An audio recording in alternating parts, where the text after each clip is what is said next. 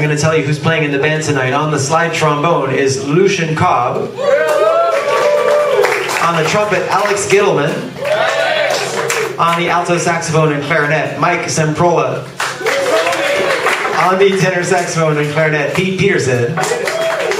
And the rhythm section is the guitarist and banjoist Ted Gottsegen. The, the drummer Brian Heveron Smith.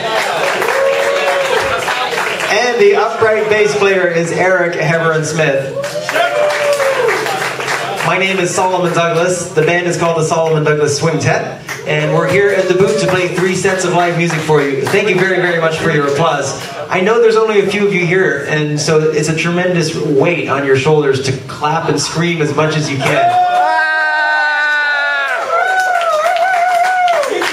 Uh, we will. We've got two more sets, and we have one more song before we take a break. And uh, during that break, Bill Spidell is going to keep the music going for you, and then we'll be back with two more sets after that. So, here is this Lionel Hampton song we're going to do for you right now. This is called Loose Wig.